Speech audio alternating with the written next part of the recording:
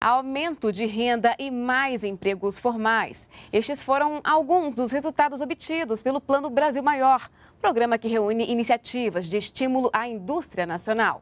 O balanço divulgado hoje é uma análise dos últimos três anos.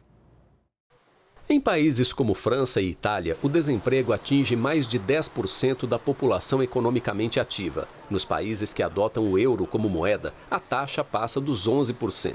Os dados são da União Europeia e mostram o reflexo da crise econômica que começou em 2008. No Brasil, o desemprego ficou em 4,9% em setembro, o melhor índice dos últimos 12 anos para o mês. Uma das medidas para estimular a produção e evitar o desemprego foi a liberação de crédito. A indústria, o comércio, os serviços e a agropecuária receberam nos últimos três anos mais de 465 bilhões de reais em financiamentos do BNDES. Também foram reduzidos impostos que os empregadores têm que pagar para manter um funcionário no trabalho.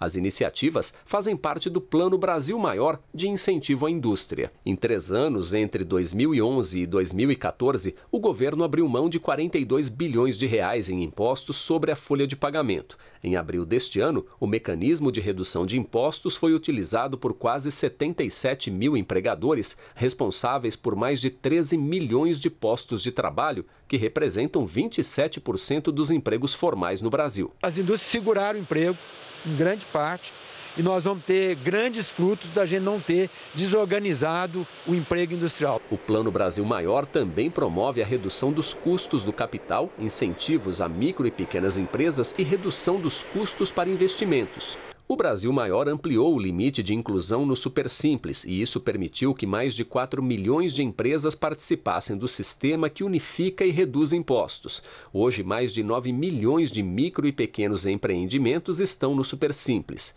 Para os empreendedores individuais, a unificação e redução de impostos, que só estava disponível para os que faturavam até 36 mil reais por ano, foi estendida para os que ganham até 60 mil. Mais de 3 milhões aderiram ao sistema e hoje eles são mais de 4 milhões. Também foram reduzidos o imposto de produtos industrializados sobre bens de capital, materiais de construção, caminhões e veículos, as contribuições de PIS e COFINS e o ICMS. Nos últimos anos, o Brasil tem desenvolvido uma série de ferramentas de incentivo à indústria. Há uma discussão bem ampla sobre inovação e organismos como a FINEP, o BNDES, realmente disponibilizam muitas, uh, muitas formas né, de ajudar a, a indústria. Também faz parte do Plano Brasil Maior o Inovar Alto, programa de incentivo ao desenvolvimento tecnológico da indústria de veículos. Até agosto deste ano, 52 empresas foram habilitadas no programa. Os investimentos confirmados passam dos 9 bilhões de reais, que devem permitir um aumento na produção e geração de 15 mil empregos diretos.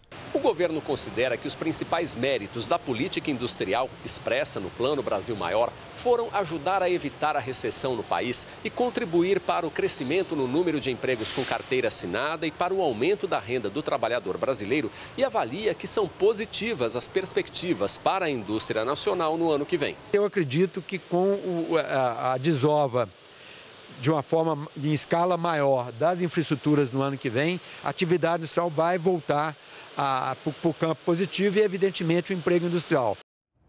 E nos primeiros nove meses do ano, o lucro do BNDES foi de mais de 7 bilhões de reais. O valor é 51,4% superior ao obtido no mesmo período do ano passado. O resultado é o segundo melhor da história.